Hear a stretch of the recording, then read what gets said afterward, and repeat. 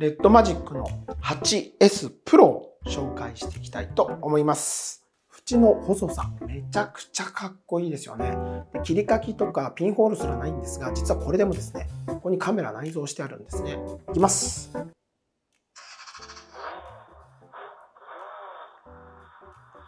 画質めちゃくちゃいいですよね。絵も綺麗ですよね。はい。こんにちは、戸田悟です。以前もレビューしましたゲーミングスマホのですね、魅力的なモデルですね。レッドマジック8の S 登場しましたので、詳しく紹介していきましょう。まあね、この手のスマホって最近結構熱いですけど、高性能なスマホとしては値段が結構手頃なので、まあこの手のスマホが最近熱くなってますが、高性能なモデルとしては手頃なので、ゲームをあんまりしないという方も注目です。なかなかかっこいいパッケージですよね。今回はゲーミングスマホとしては結構有名なメーカーで僕も何台かレビューしてますけれども、レッドマジックの 8S Pro を紹介していきたいと思います。まずはですね、中に入っているものを紹介していきます。こちら本体ですね。後で詳しく紹介しましょう。はい。それからケースも入ってます。こういうね、え台数が出てないレアなスマホはですね、こういう最初から透明なケースが入っているとですね、まあ困らなくていいですよね。ケースが選べなかったり買えなかったりしますけれども、透明なケース入っていれば、とりあえずこれを使っておけば OK ですね。さらに、充電器とケーブル。ケーブルも真っ赤でかっこいいですよね。ついてますが、充電器はなんと 65W の急速充電に対応してます。ケーブルは Type-C、Type-C です。まずはですね、ディスプレイチェックしていきたいんですが、サイズはですね、6.8インチですね。フル HD プラスの、えー、OLED。サイズはですね、6.8インチ。フル HD プラスの OLED なんですが、この画面だとあんまりわからないんですけど、例えばね、ブライザーをちょっと開いてみますね。すごいこの切り欠きのなさ、このね、えー、縁の細さ、めちゃくちゃかっこいいですよね。で切り欠きとかピンホールすらないんですが、実はこれでもですね、ここにカメラ内蔵してあるんですね。まあ、このモデルが最初ではないですけれども、ディスプレイ内蔵のカメラを採用しているので、まさにフルスクリーンディスプレイとはこのことだという感じですよね。えー、ゲーミングスマホなのでゲームをするときに何も邪魔するものがないこのディスプレイ、めちゃくちゃいいと思います。で、今ですね、えー、輝度最高にしてますけれども、かなり明るいです。はい。で、リフレッシュレートは最大 120Hz で、えー、自動設定にもできます。今自動設定になってるんですけど、ここにね、120Hz と出てるので、今 120Hz で動いてます。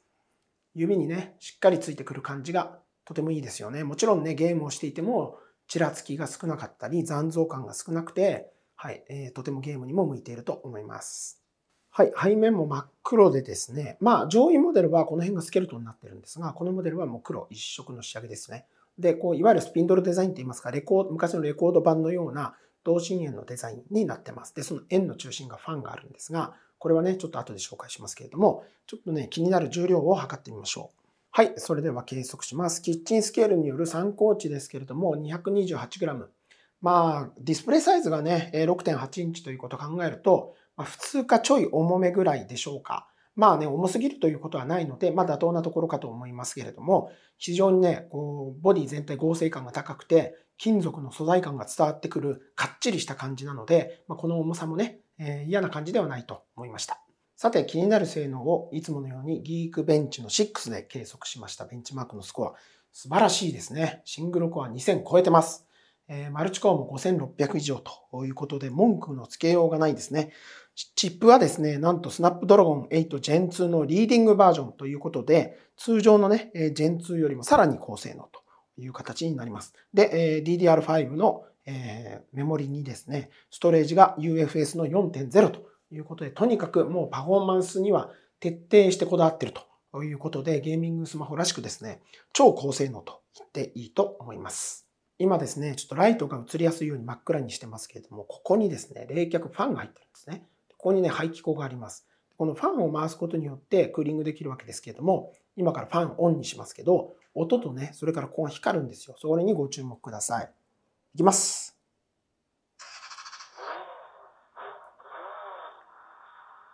はい、エンジンをかけるような音がしてですね、ここは光ってますよね。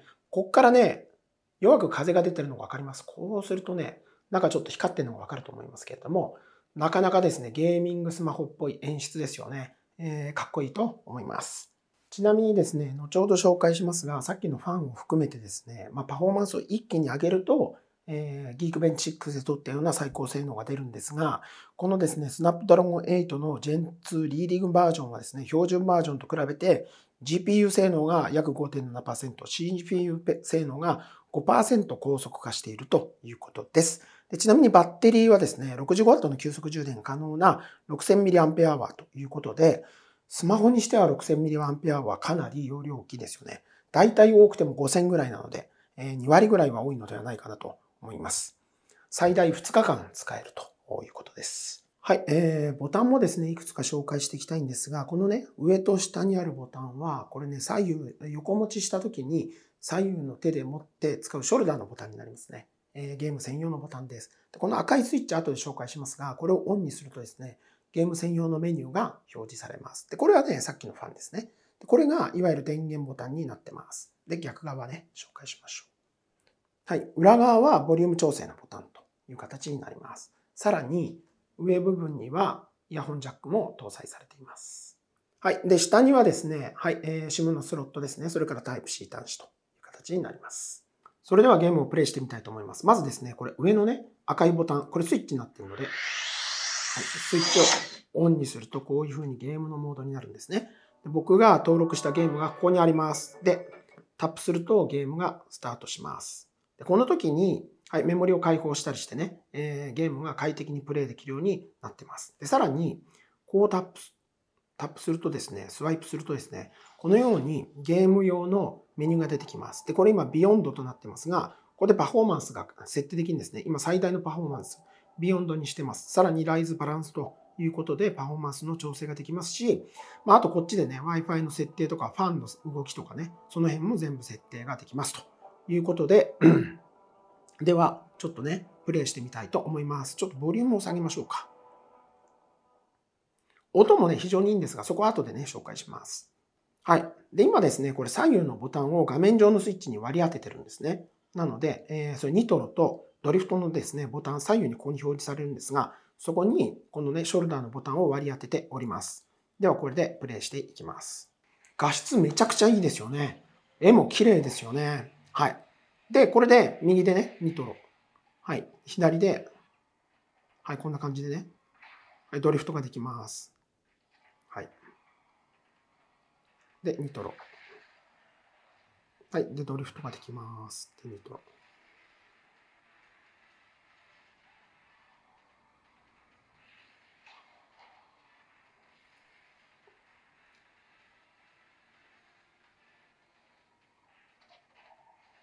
はい。ちょっとね、いつまでもやっててもしょうがないので、ちょっとこの辺でやめますけれども。はい。で、今ですね、アスファルト9ここに登録してますけれども、他のね、アプリも登録して、それぞれに合わせたパフォーマンスとかね、えー、クーリングでプレイすることができます。それでは僕のセカンドチャンネルのオープニングでスピーカーの音をチェックしてみたいと思います。皆さんはね、マイク越しの音になるので、主にね、僕のコメントを参考にしていただければと思います。それではスタートします。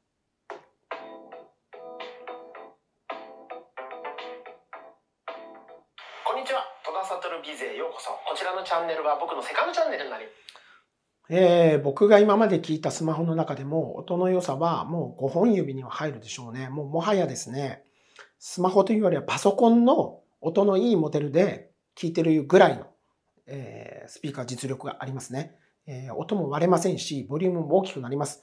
ゲームには最高ではないでしょうか。はい、えー、カメラについても軽く触れていきましょう。そもそもですね、ゲーミングスマホなので、そんなにカメラを重視してね、買うモデルではないですが、まあ、普通にね、え撮影できないと困るということで紹介していきます。はい、えー、スナップ写真何回、何枚か撮ってみましたが、色が濃いめでですね、結構綺麗にメインのカメラ撮れました。それからですねえ、マクロがついてるので、2メガピクセルですけれどもね、マクロでもこれ撮影してみました。結構ね、この植物の、えー、毛って言っていいのかな、そこの繊維の部分もね、えくっきり映っています。これひまわりのね、花芽だと思います。はい。で、こう拡大してみるとフレームレスの画面なので非常に迫力があるのもいいところかなと思いました。